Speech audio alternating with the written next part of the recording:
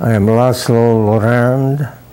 I'm an emeritus professor at Northwestern University, uh, lately from the Department of Cell and Molecular Biology at the medical school. And um, I'm an old Woods Holer. I have many ties uh, to this place. First of all, I was brought here by Albert Szent-Györgyi, who was my mentor in Hungary. And first he invited me here to, to his home in 1952 Christmas out in Penzance. And then uh, he wanted me to come here for the summer. Originally, I came over from England only for a single year fellowship in Detroit. And um, then a fateful event happened in 1953. I sat down in the old mess hall across my wife, my future wife, who was a beautiful and very bright scientist from Iowa, working with her professor, Emil Witschi. He was a distinguished endocrinologist. Joyce was a brilliant scientist of her own right. Unfortunately, I have to refer to her as my late wife because um, she died about three and a half years ago. But she loved Woods Hole just as much as I do. And uh, we raised our daughter every summer here. Uh, and our grandchildren, Lillian and Sam, they both went to the Children's School of Science it was a wonderful atmosphere. And um, so Joyce and I got married that year in November. The first summer, 1953, was obviously a fateful one for me because I met Joyce Brunner. And um, um, I remember the Sunday evening musicals in the MBL Club. Teddy Shedlovsky from the Rockefeller University organized those, and uh, scientists were playing music. It was one of the lovely events, and Joyce was very happy because uh, she got reacquainted with her graduate school colleagues like Shelley Segal, who later became president of MBL, not president, but chairman of the board. Um, so we worked here every summer since 1953, except maybe three summers when I gave lectures in Europe or some other engagements. The most um, memorable uh, scientific events were the um, physiology lectures in the morning in the old lecture hall, um, roughly where the Loeb building is now. And this was the period when chemists and physicists were breaking into biology and they really revolutionized uh, biology as we knew it at that time. I myself had a good background in physics, even though I finished medical school in Hungary. Uh, so I tended towards basic sciences, and um, that's what I pursued in England, where I got a PhD in Leeds uh, with my mentor, uh, William Astbury, who was a fellow of the Royal Society. In 1962, we built a house on Wilson Road on MBL land, and we have lived there ever since. As I said, we came here every summer except maybe three summers.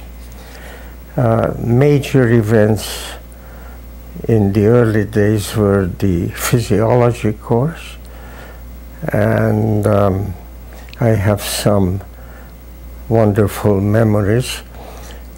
Uh, for example, when Albert Szent-Györgyi was lecturing on useful energy and useless energy as far as muscle contraction was concerned, they asked Irving Klotz, one of my future colleagues, to uh, make comments. And um, he got up and he said, the trouble is that Prof, who everybody called Albi Prof, Prof speaks Hungarian and I only speak Yiddish. Um, that brought forth laughter. Once I was sitting next to Otto Loewi, was another Nobel Prize winner, very little recognized now at the MBL. He got the Nobel Prize for uh, having discovered vagus Vagusstoff, which is the transmitter to the heart, now recognized as acetylcholine. And he was an old man, very difficult of breathing. He had emphysema. He was a heavy smoker when he was younger. And I only got to know him later in life. But every summer, because I was one of the privileged few who was his friend's uh, protege, uh, he gave me half an hour audience, whether he was rocking on, in a rocking chair on the porch of the mess hall or whether uh, um, uh, the audience was at Stony Beach he always gave me a bit of wisdom. And if you are interested, I can uh, quote a few comments that he made. Yeah.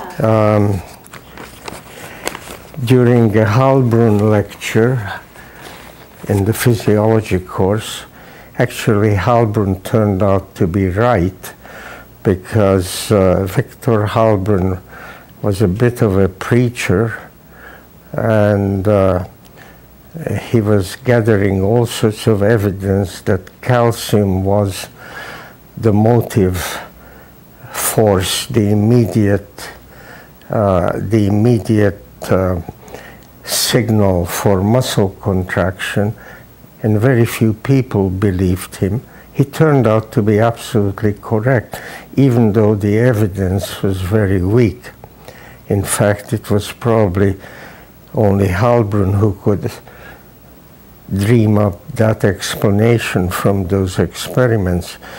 Otto Loewi pushed me in my ribs with his elbow and uh, perhaps facetious, facetiously, he said, Lorand, calcium is alles.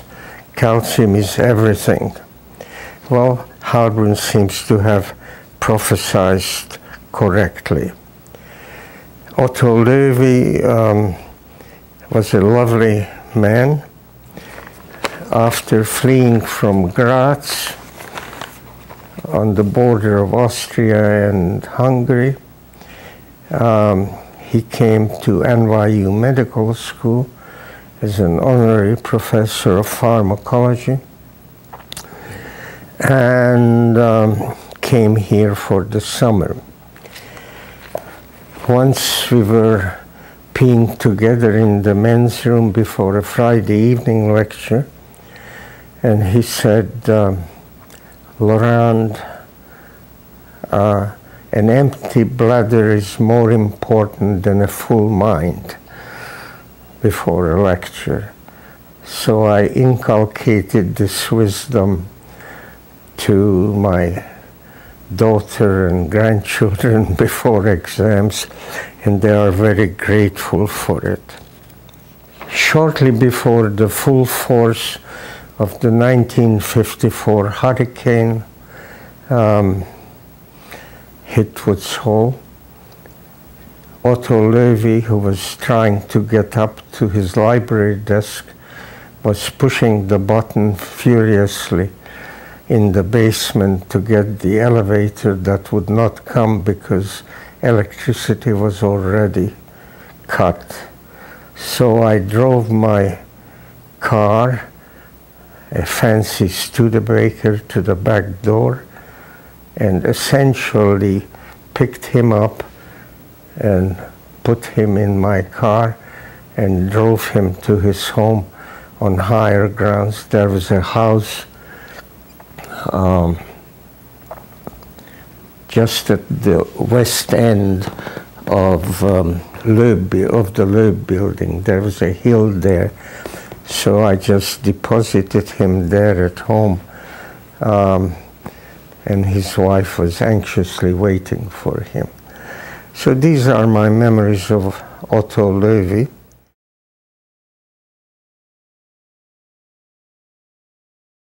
54, that was um, a memorable year because that was the summer when Jim Watson and Francis Crick were roaming the streets here.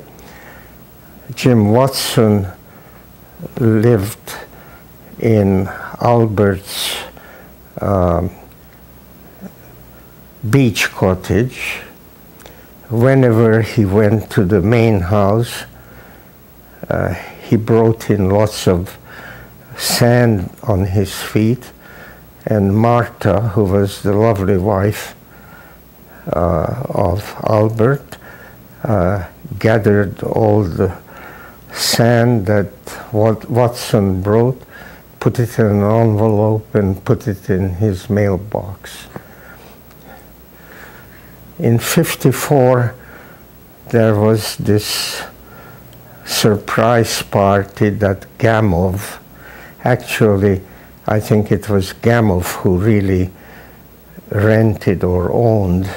Albert didn't rent, but he would give his MBL cottage to the uh, uh, famous visitors.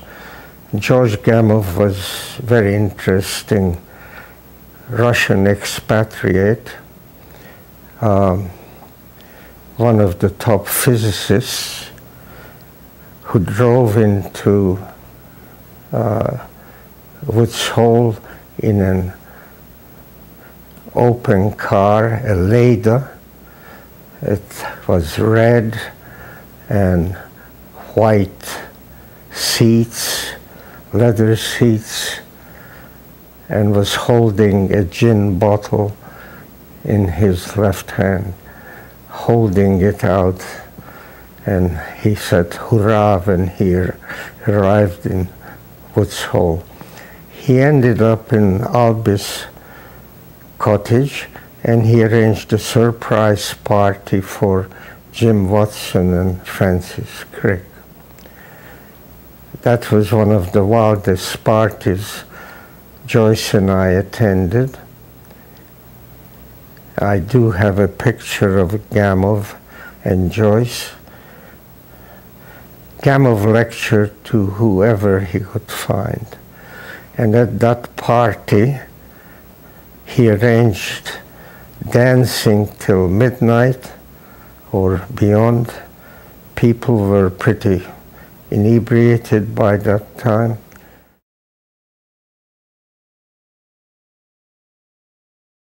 Of course, the most significant thing, as I said, was that I found my uh, lifelong partner here, and um, her ashes are buried here. And she was also my co-worker for many years. We published about 15 fairly significant papers uh, which had its origin in Woods Hole. Um, and Woods Hole had a tremendous influence as I look back in my own development. I was offered a job at Northwestern University because of my friendship here in Woods Hole with Irving Klotz, which also developed a into a lifelong close friendship until he died some 10 years ago. The dean, I mean, the chairman of the department came to interview me here, and next fall I was invited to give a lecture, and by the following spring, which happened to coincide when my daughter was born, and um, uh, I was offered a job to build up biochemistry, and I took advantage of my uh, friendships and uh, and uh, networking here in Woods Hole. It was really a scientific marketplace. So uh, eventually I managed to recruit Bob Goldman, who is a distinguished scientist, uh, to become chairman of the Cell and Molecular Biology Department. That was some 25, 30 years ago. That was a Woods Hole connection. And then Klotz and I recruited David Shemin, was a member of the National Academy of Sciences, uh, to uh, come to Northwestern here in Woods Hole. Uh, we persuaded him of all the potential that he would build up a department. Eventually, we built up a department where we had, including myself, six members of the National Academy. So uh, Woods Hole had an infinite uh, influence that keeps on giving at, and cascading. I brought distinguished scientists to Woods Hole, uh, Gustav Born, a fellow of the Royal Society, came here for one summer to work with me. He was chairman of pharmacology in Cambridge in my own field of hemostasis and blood coagulation. I um, managed to make a significant discovery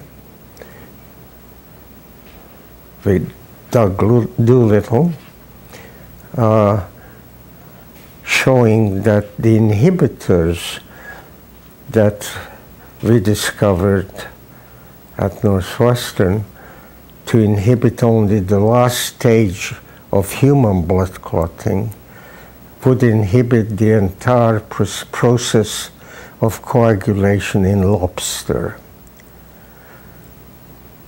So we immediately knew that the lobster clotting must have been what you might call the primitive precursor of the complex system that vertebrates employ or evolved with many steps of controls and regulation. In the lobster system, there is only one enzyme that's released from the hemocytes and clots the fibrinogen and we were able to inhibit that step. Actually, this showed that evolution produced two different paths to the clotting of fibrinogen. Was, one was a simple one, so a single step of taking a protein, modifying it to form a clot, whereas the human blood clotting system, as we worked it out, is far more complicated. This system was useful, so even in the Journal of Clinical Investigation, we managed to describe a patient who was bleeding whose serum would inhibit lobster clotting. So we used the lobster system as a diagnostic tool to diagnose a severely ill, severely bleeding individual.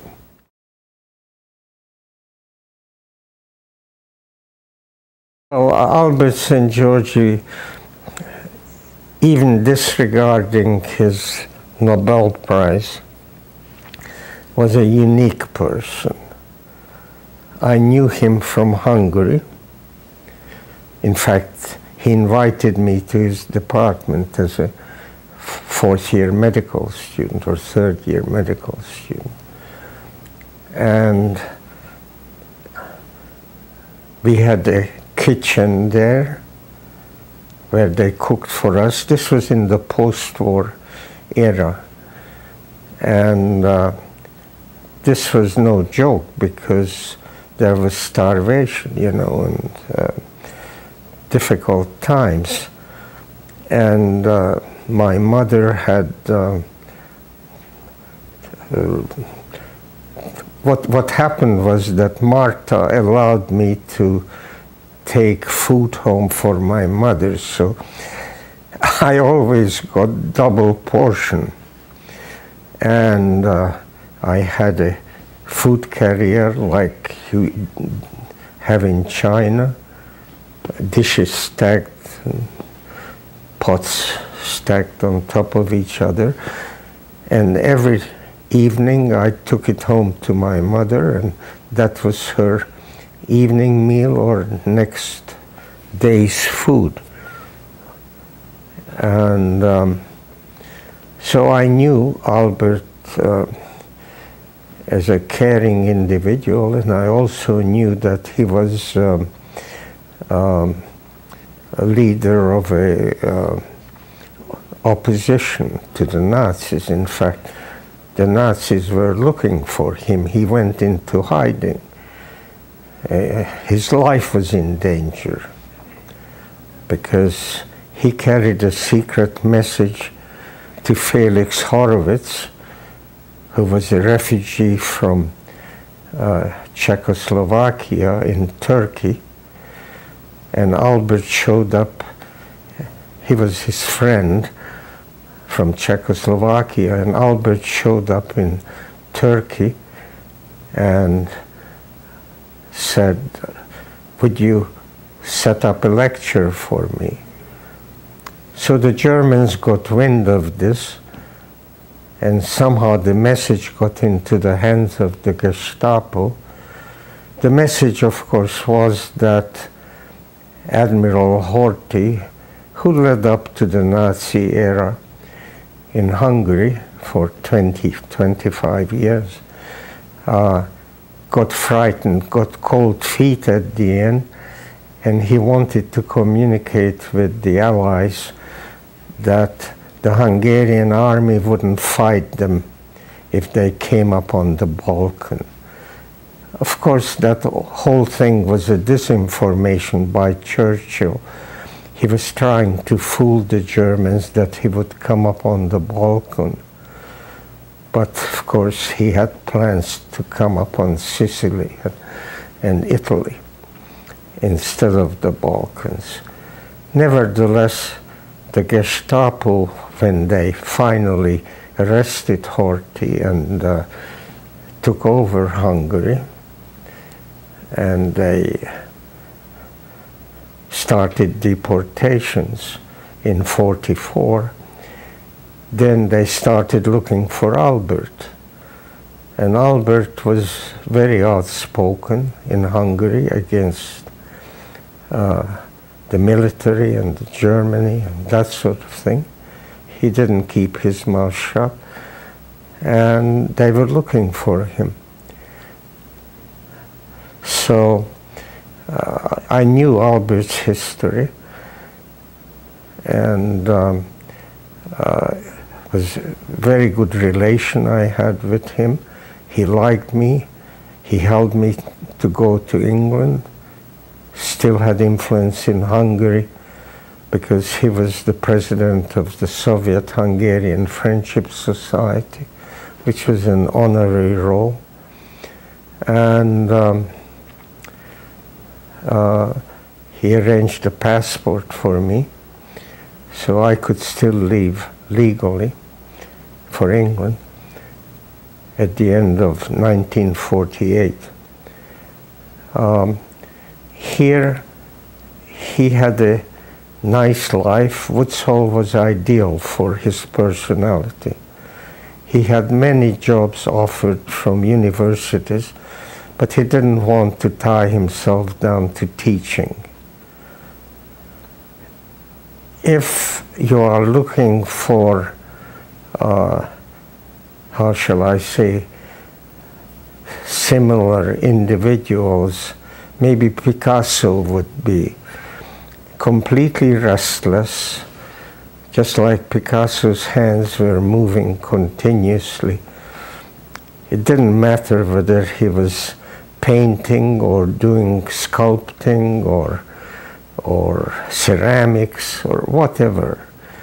He had to move continuously. Albert was a similar personality and uh, he dearly uh, cared about mankind as a whole.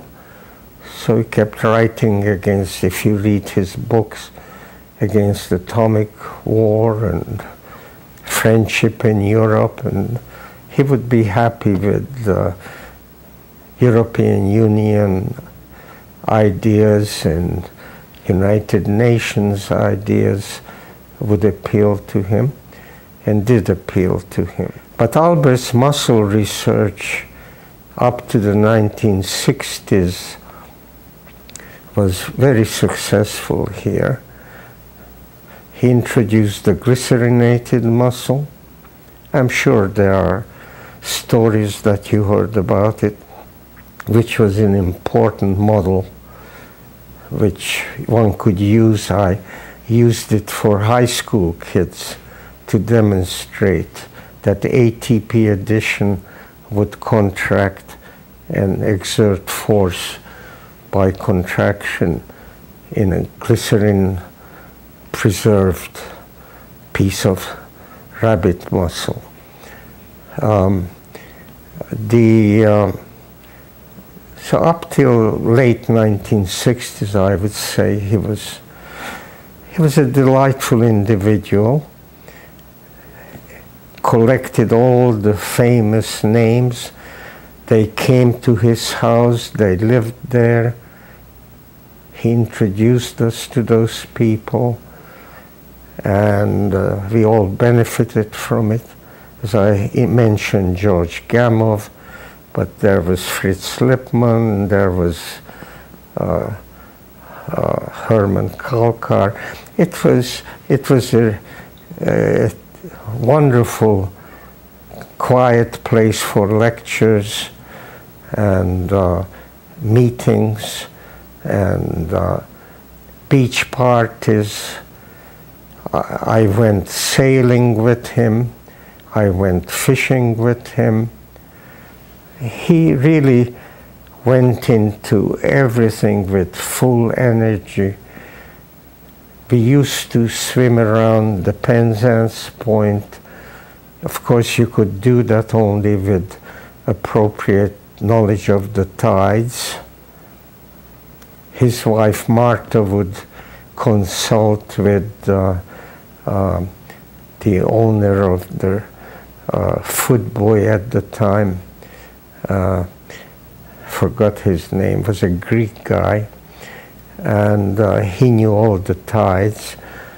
And then we would get in the water on Buzzards Bay side and swim around the point and wait for the tide or hoping that the tide would coincide with our arrival in the hole and then the tide would push us in, first in the hole, and then you had to swim for the gut. And we came out on the Great Harbor side wet, and that was about a half an hour to 45 minute trip. Um, Steve Kuffler, who was one of the almost Nobel Prize winners here in Woods Hole, he died during the summer before the fall he would have got the Nobel Prize. Two of his students, when two of his students got it. Um, Steve Kuffler worked here as a famous neuroscientist for many years, and his house is just opposite Stony Beach. Um, he was part of our group, also of Hungarian extraction. Um, Szent-Györgyi was interested in everything. He retained his childlike curiosity, which is really, I think, an essential part of, you might say, greatness with a little bit of luck. It's not enough to be a good scientist. You got to uh, have luck. And if I may quote another Otto Loewi wisdom, pearl of wisdom, he was telling me the story when one young doctor was seeking to become assistant in his lab in Graz, in Austria. And um, he sort of paraded what he could do, all the complex operation on animals. He could cannulate the bile duct, he could cannulate the pancreatic duct. These are very tiny ducts. And he goes on and on and on. And Otto Loewi was just listening. And at the end, he said, Yes, my young man, but are you lucky? so with that, I finish.